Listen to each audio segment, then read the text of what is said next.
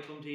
आ, मैं हूँ अली आकिफ अपने चैनल लाइव विद आकिफ के साथ। और आज हम कुछ ज़रा इंफॉर्मेशन शेयर करते हैं कुछ आपको मेरे हाथ में आप देख रहे होंगे कि ये क्या है ज़रा मैं दिखा दूँ। ये है जी देसी मकई।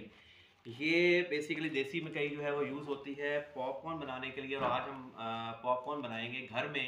और हम दिखाएँगे कि बिल्कुल वही टेस्ट और बिल्कुल उसका वही जो है जो आपको बाज़ार में मिलते हैं। वो बिल्कुल बनेंगे, लेकिन फ़र्क ये है कि जो आम मकई हमें छली बाज़ार में मिल रही होती है, वो हाइब्रिड होती है और ये बनते हैं देसी मकई से, आप देख रहे होंगे इसका साइज़ जो बड़ा छोटा है हमारे पास। तो चलिए, चलते हैं, इसको बनाते हैं।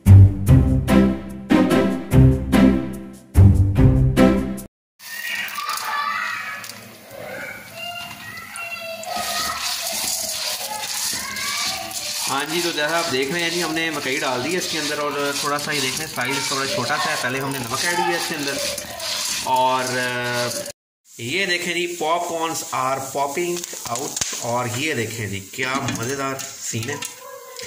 ठीक है, और ये देखें जी, ये हमारे पॉपकॉर्न रेडी हो गए। अब पाँच मिनट इसको लगे हैं और ये इतने ज़्यादा बन जाएँगे कि आप पाँच सौ के भी बाज़ार से लेंगे तो ये उससे ज़्यादा ही होंगे हमारे पास।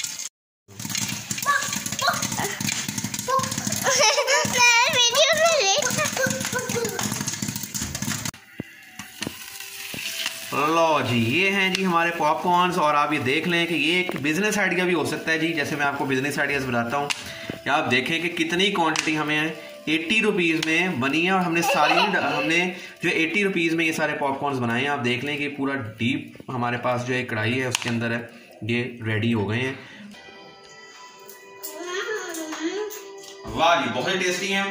तो हमारे चैनल को सब्सक्राइब करते रहिए, ताकि आपको हर आने वाली वीडियोस जो है वो मिलती रहे और इन्फॉर्मेशन जो है हर तरह की आप तक पहुँचती रहे। तब तक के लिए अल्लाह हाफिज़।